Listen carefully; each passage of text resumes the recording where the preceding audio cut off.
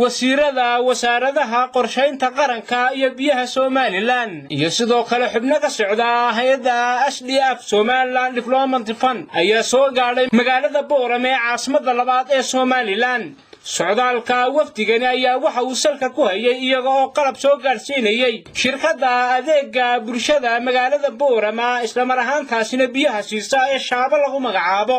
Qalabkani ayaa waxa loogu talagalay in shirkaddu ay ku samayso horumarinta iyo biyoballaadhinta magaalada boorama oo haatan ceelal kala duwan looga helay. Deegaanada galbeedka magaalada boorama maadaama ceelashii bariga boorama ku yaalay ee biyaha laga helayay qaarkood ay noqdeen kuwa gabaabsiya. Haddaba halkaasi waxaa hadallo kala duwan ka soo jeediyey mas'uuliyiinta shirkadda adeega bulshada ee shaaba ee boorame laga leeyahay. Xubno ka socda hay'adda s d f maamulka gobolkana awdal iyo wasiirada wasaaradaha qorshaynta qaranka iyo horumarinta biyaha somalilan. Waxaanay ka warbixiyeen. Hay'adda s d f waxay ka jawaabtay baaq iyo cabasho ballaadhan oo ka soo yeedhay mar qura.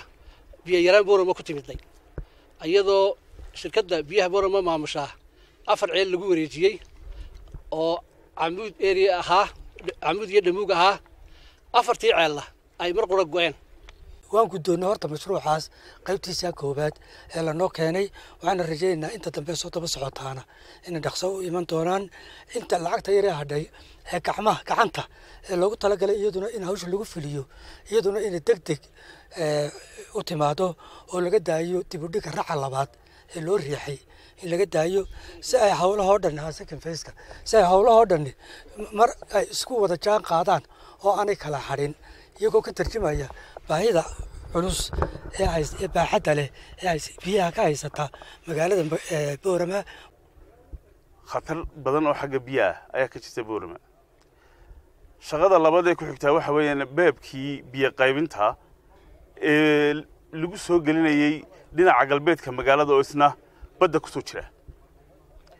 Oo iminka ku jira in la sameeyo waxaa ku jira warshaddii ayaa gacanta ku haysa oo dubay ayaa lagu samaynayaa kaana waxaan filaynaa in dhowaan sidanoo kale loo keeno.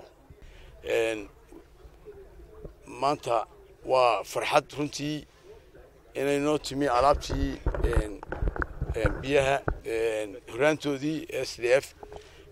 Sida kale waan uga warhaynay ceelashan in kuwaa bariga laga waayay biyo kuwana laga baaray laga helay qaarna la soo saaray. Mashruuca ballaarintaa waanu soo dhaweynaynaa waanu uga mahadcelinaynaa. Cid kastoo gacan ka geysatay wasiirada hadday yihiin iyo hadday hay'ada yihiinba. D f waa mashruuc somaliland leedahay.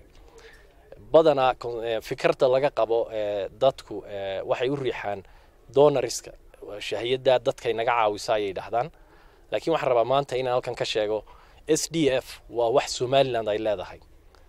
Micnaha waxa weeyaan adduunyada dad partnerisa waxayna siiyey gartay inay waxayna siineen meel iskugu geeyaan haan iskugu geeyaan. Haantaas baa la yidhaha markaa s d f. Marka intaa laga tago waxaan rabaa inaan halkan aan isdul taago in biyuhu yihiin waxa ugu muhiimsan nolosha. Biyo la'aan waxba ma suurto galaan. Caafimaad ma yimaad horumar ma yimaadaan noloshu ma timaado.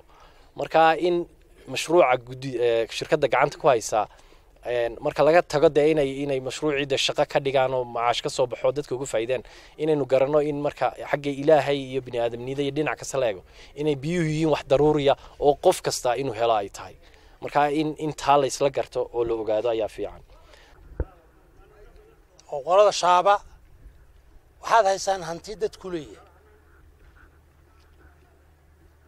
oo ah public private partnership oo loo baahan yahay waxaan dawladda aanu hadda gelinayno wax ummadda somalilan leedahay. Wax qof leeyahay maaha hantida iska daba imaanaysa ee gobolkan gelaysaa waa wax dawladdu leedahay.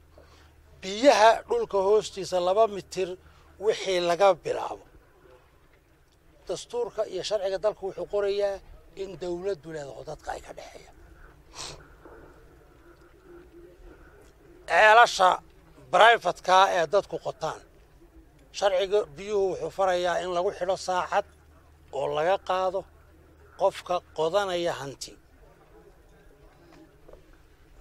Royality iyo cashuur labadaba governator. Cid bila aadana oo ceel qodi karta ma jirto. Soonkaa hadda biyaha laga helay iyo aqwa farkaa hadda aad ka hesheen cid brifada oo u soo dhowaan karta. Ma jirto. According to law. Cid alla ciddii ceel brifada haysata oo biyo leh haddii ay dantu ina ka khasbiso waa ka qaadeen sababtoo ah qof ama beer iyo dadka ku nool gobolka intaa la eg dee waa waa waa kala muhiimsay biyahana research gaar aanu ka gelinaa bal sidii magaaladani deegaankani ay biyo u heli lahaayeen. Anigu hadda inay biyo haysato uma arko de laba ceel. Dadka intaa la eg waxaanuna qolada shaaba leeyahay. Hantidaa dawladda iyo hantidaa ummaddu leedahay ee aada haysaan mas'uuliyaddeeda waxaa inaad ka baxdaan baa laydinka baahayay waanu garan karaynaa wakti baad soo wadeen waad soo wadeen infrastructureka biyuhu wax dhib yar maaha. Oo wax aada u qaali.